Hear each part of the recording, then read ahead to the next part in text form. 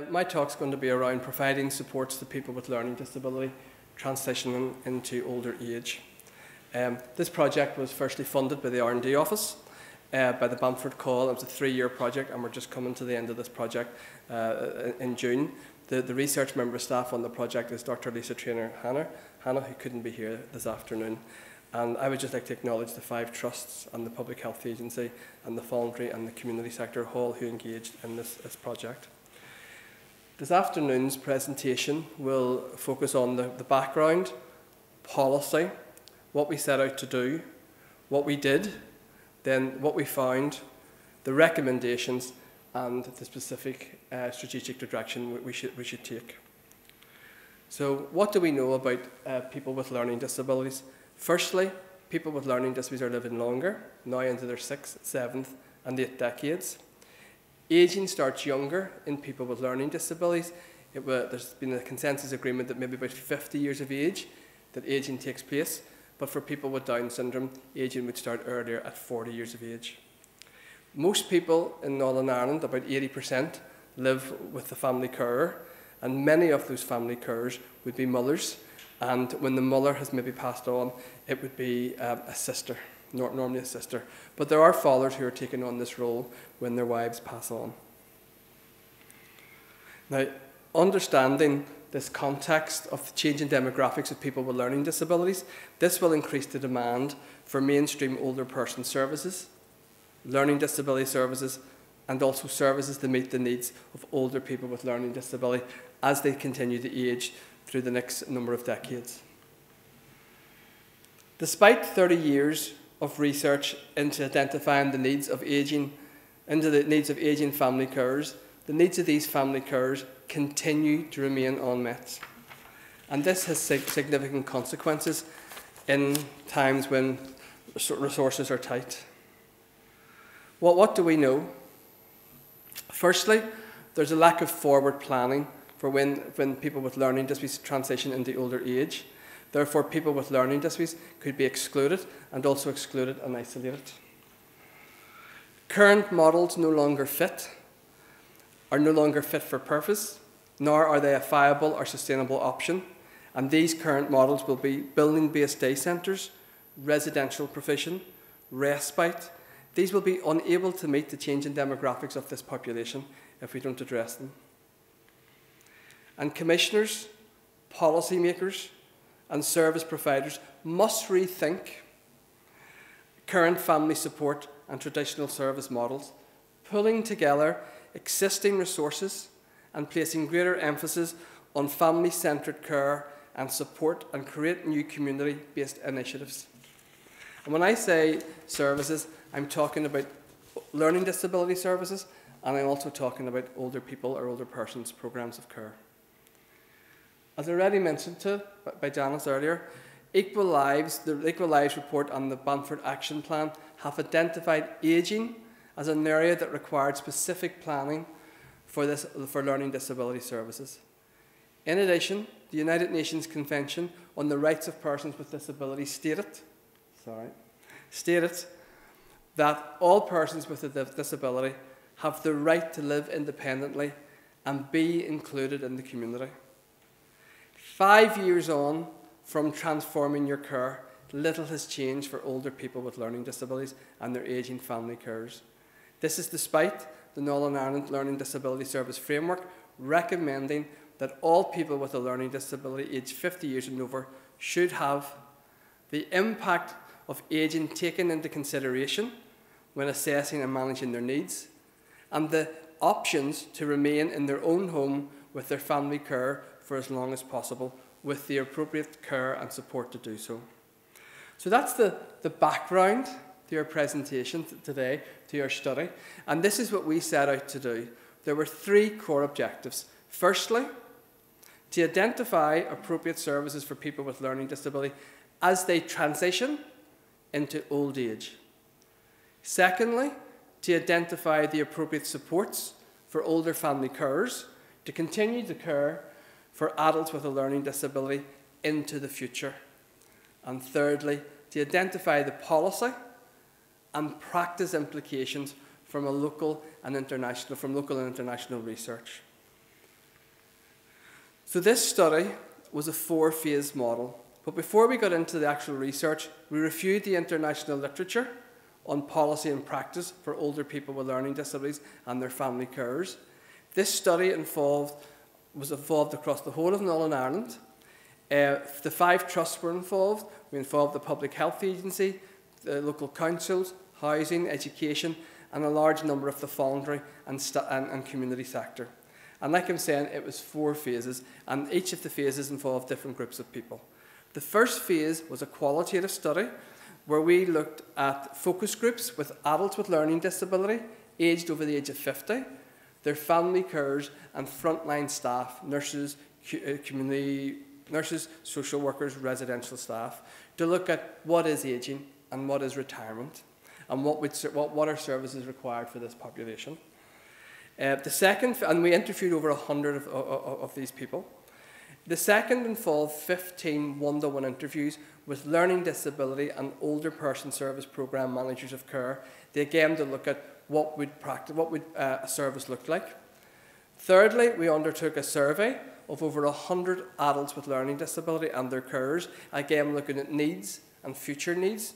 And then lastly, we brought all this information together in phase four, where we undertook three conferences, one in Portadown, one in Temple Templepatrick, and one in Derry, where we had 100, over 180 stakeholders from all these groups to look at the way forward, and this is what's being presented today. So basically, this is the first time anybody has seen this research, so this is hot off the press. So what did we find? Well, there was four key findings to this study.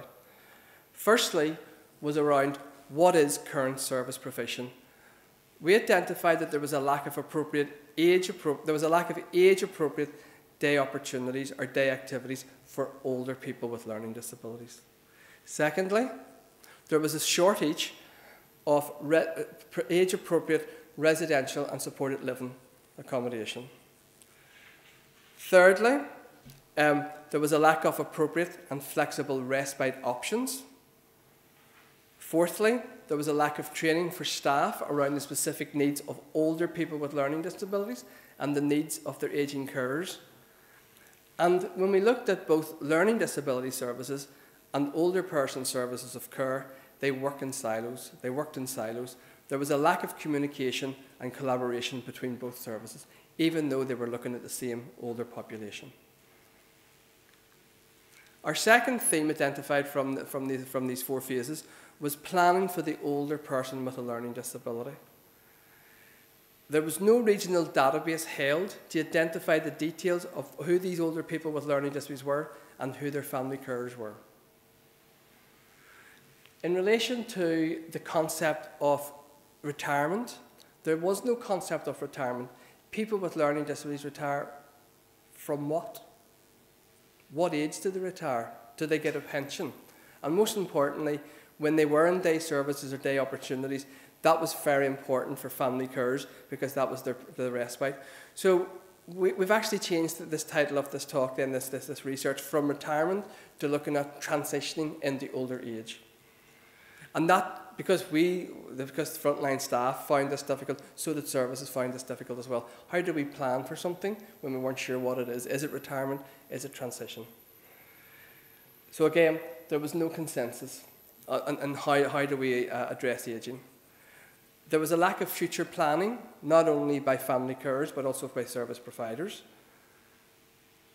Uh, people with a learning disability, some people with a learning disability who were older were also providing care for a mother or father who was ill. And some of those people with learning disabilities were also given out medication as well and, and personal care. There was a lack of um, planning for healthy aging. So when people become older, they're already in poor health. So that was that, that theme there. The third theme was around family support. So again, the needs of this population were not recognised or resourced within statutory services. There, uh, there was no point of contact for family carers to get practical information or emotional support. Few family carers had actually had a carers assessment and were actually receiving direct payments. A lot of the families were trying to provide support, but other families found it difficult to engage with other family members. And few families had any assistive technologies or any home adaptations to support the person with learning difficulties as they age, but also for themselves as well. And our last theme was around inclusive communities. Uh, like I said to you earlier, attending the day centre was more than a day placement for adults with learning disability. It was a place where they could connect with their friends and with their peers. And also, it also provided respite for older family carers during the day. Again, people with a learning disability welcomed the opportunity to engage in their local communities with their peers who maybe didn't have learning disabilities. However, this was not common. And there was little opportunities to engage in their local communities.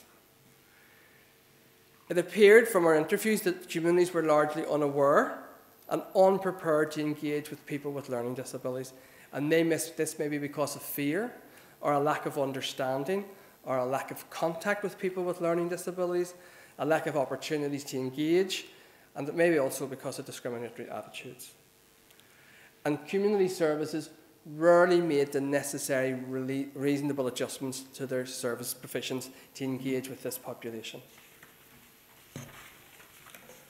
So, so what did we identify? We identified from that a number of recommendations. And like I'm saying to you, these have not been shared before. So, and that's what I probably want to spend most of the minutes with. So the first one was around actually looking at reshaping current service models. So we think that there should be a review of existing day opportunity provision to ensure that it is fit for purpose and meets the changing needs and choices of older people with a learning disability. We should try and develop more housing options, options beyond traditional residential and nursing options, such as supported living, home ownership, co ownership, and shared lives. We need to develop more flexible and overnight short, short break or respite options to include shared lives, adult family placements, and short breaks. And we should provide training to all staff within the Learning Disability Services, but also within the Older Persons Programme of Care to improve their attitude, their knowledge, and their skills about the health needs of older people with learning disabilities. We should also try and develop some protocols and standards for interagency, cross departmental communication and working, which can identify clear roles and responsibilities and facilitate the sharing of information and hold individuals to account. And each trust should appoint a champion of fam for families of older people with learning disabilities based, based across both learning disability services and the older persons programme of care to bring a coordinating role of services within each trust. And we also need to revisit how services are commissioned for older people with a learning disability and their ageing family carers to ensure that all service users have access to supports which meet their needs and ensures their continued inclusion within their communities. If we think about planning for the older person with a learning disability specifically, we need to develop a regional electronic register or database. Um, this would predict the likely rise in numbers over the coming 10, 20, 30 years. We also should think about older people with a learning disability living in the community should be offered a range of meaningful day opportunities and activities that includes a tailor-based, uh, tailored support to promote independence of their activities of living.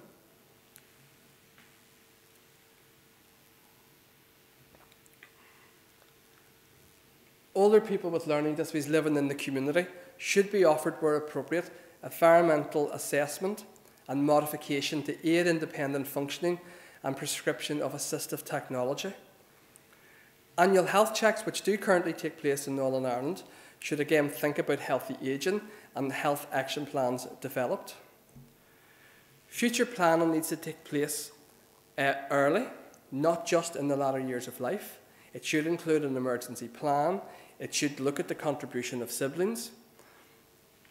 The needs of older people with learning disability who develop dementia must be addressed within the Northern Ireland Dementia Strategy. And people with a learning disability who become carers for their parents need to be recognised and supported the same way of the supports offered to other carers. So, our third recommendation focuses around the family. There needs to be a single point of contact where families can access practical information and signposting about all services, support opportunities within their uh, local area. All families should be offered an enhanced carers assessment based around the family. And families should be encouraged and supported to use self directed support and direct payments.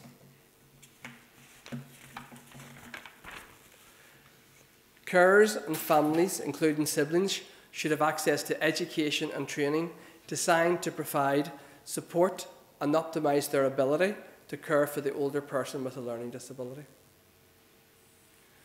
Family support programs Family support programs should be individualised, multifaceted, and focused on early intervention and delivered over multiple sessions. Each trust should develop appropriately sourced family care support groups and also sibling support groups that focus around providing practical information, emotional support, signposting, and empowering uh, family courage to take control of their lives. And again, we should identify assistive technology solutions that promote continued and independence and monitor and support the family carer's health in order and for them to maintain caring things like telehealth and home adaptations. And our last main recommendation was around inclusive communities. The Public Health Agency has a responsibility to reach out and support people to access these services by making the necessary reasonable adjustments to all their mainstream community health programs to ensure that the people with learning disabilities and their family carers have access. This would include some of their programs around healthy living, health promotion, health edu education, vaccinations, health issues maybe around men's health, women's health, and mental health. Likewise, local councils, each of the 11 local councils in Northern Ireland, have a responsibility to make reasonable adjustments to their mainstream community programmes. For example, learning and education, employment, supports, sports, leisure and recreation, arts, travel, home safety benefits, and also planning for your retirement. Another area would be is to recruit older adults without a learning disability, to mentor and support adults with a, with a learning disability to access and engage in mainstream community older people services. For example, bowling clubs, or volunteering, or men, Men's United, or men's sheds, or gardening clubs, etc.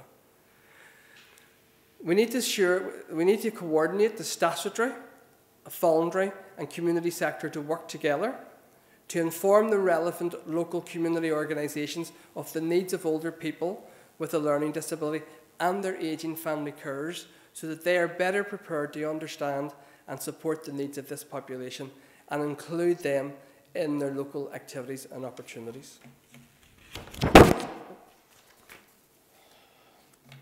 So, just coming to, to an end now, a strategic direction would be to establish a family manifesto or a charter to protect the rights of the older people with a learning disability and their ageing family carers, overseeing and guiding on issues such as the Carers Bill, direct payments, and entitlement legislation. To develop a Carers Bill for Northern Ireland aimed at promoting the rights and requirements of family carers. A cross departmental working group should be put in place to oversee the establishment and operational management of an expert committee to advise on how services can be developed to meet the needs of these ageing family carers and older people with a learning disability, given the recommend recommendations as listed above. And this committee should have the authority to hold these organisations, the trusts, the councils, the public health agency, and the trust carers champion accountable.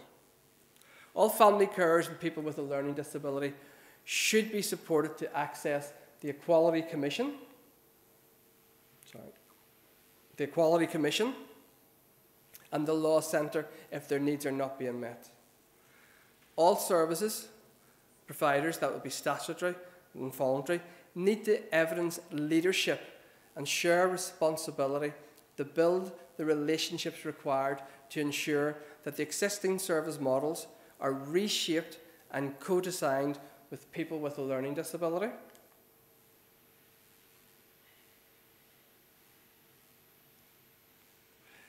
And to create new cost effective solutions.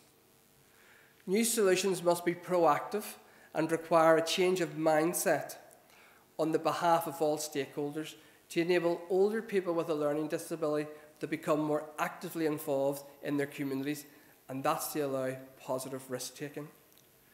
And everyone has a responsibility to ensure that our communities are welcoming and inclusive of, of all of all older people with a learning disability and provide it with the opportunities to have their contribution valued and have a real role within the, their individual communities. And lastly, the recommendations from this executive summary should be the outcomes under which leadership are held accountable. And just to conclude, the recommendations from this study clearly identify, clearly identify both the strategic and the operational direction for how commissioners, policymakers, service providers, and how they should plan and develop specific services for older people with a learning disability and their family carers in the document. This document should act as a catalyst for Trust the Plan, for the trusts, the Department of Health, the Public Health Agency, the Board, to develop, to plan and develop services to support ageing moving forward. I thank you very much.